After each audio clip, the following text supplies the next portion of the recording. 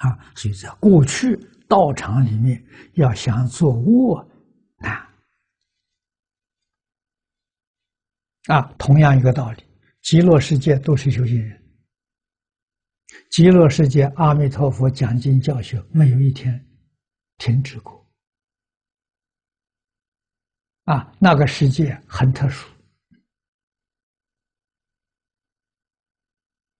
啊，人的正报身体是发现身，不是血肉之身。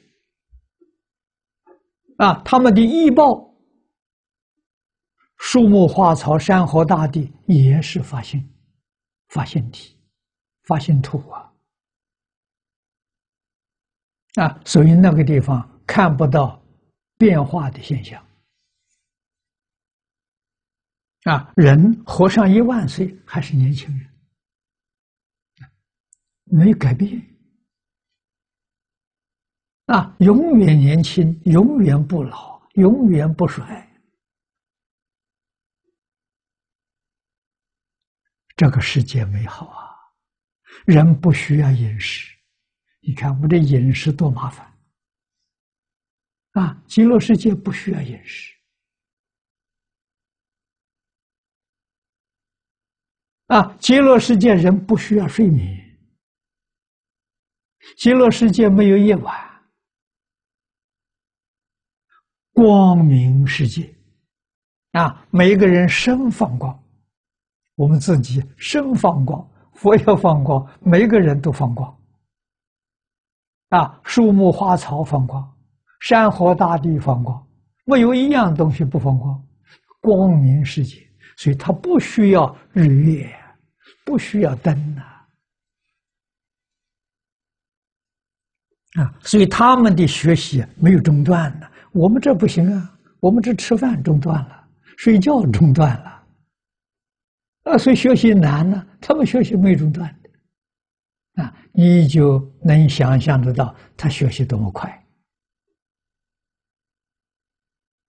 啊，所以到西方极乐世界，你想动个恶念、造个坏事，没机会，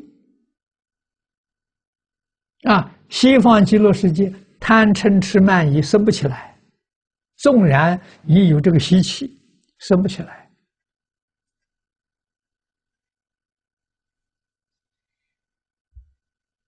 啊，为什么我们这个世界人贪财？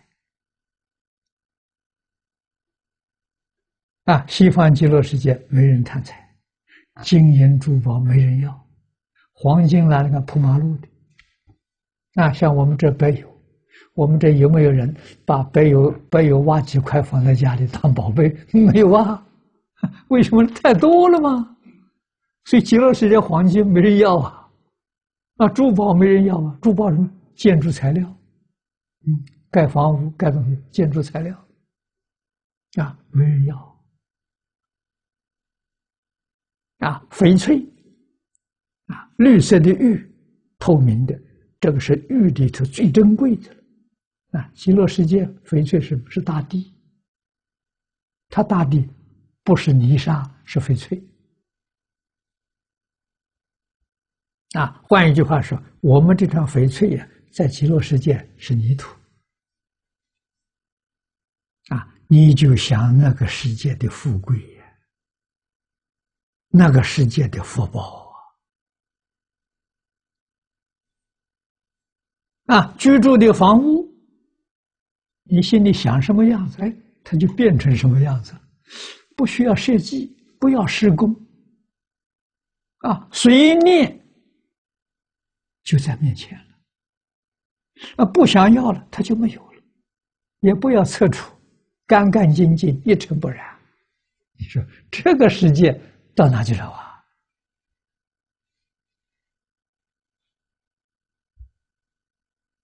啊，我们在这个世这这个世界，大的房子，我不敢住。要为什么？我说那不是人住房子，是房子住人。你要伺候房子，你要去打扫，累死你！啊，在这个房子、这个世界住房子越小越好，容易收拾啊，那几分钟就干净利落了。啊，住得很舒服。西方极乐世界没有关系，再大的房子，它不需要收拾，啊，不需要打扫，一尘不染。